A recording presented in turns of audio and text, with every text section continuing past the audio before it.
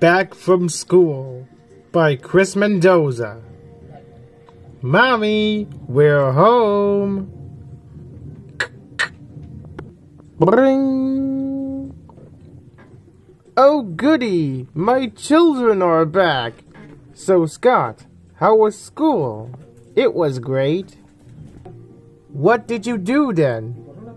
I did some bit of economics in Mr. Goldberg's class. I also worked on biology.